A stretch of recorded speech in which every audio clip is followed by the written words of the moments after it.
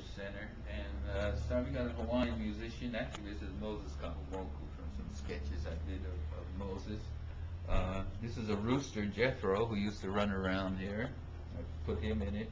And this is a young lady who became infatuated with uh, Pele, so I threw her into it. This became abstracted. And this, it, this the same theme here is, is Americana, right? This is the fight of, of the great American Yankee Doodle Dandy scene there, right?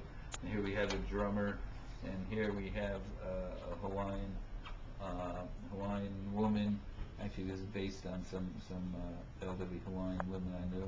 Here I threw a little bit of uh, Chagall's violinist, and here a bass player, right?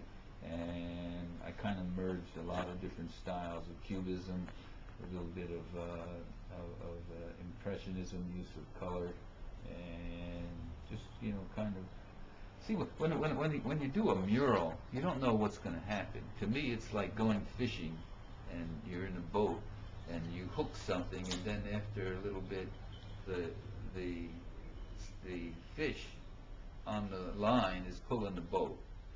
That's a, that's what a mural, painting a mural is is like to me, because I start with an idea, and sometimes that idea was only like a trap to get you started in painting something big, something bigger than than than I am, and consequently things come through you rather than uh, something that you want to do, you know, and that's that, that- that's one of the uh, to me it's the most challenging thing. One of the joys of doing the doing a mural is that you know you may not know where it's going, but you're always responsible for it. I've destroyed murals because they started to get violent, right? When my state of mind wasn't what it what, what I wanted to to have my name attached to, so I crossed them out, right?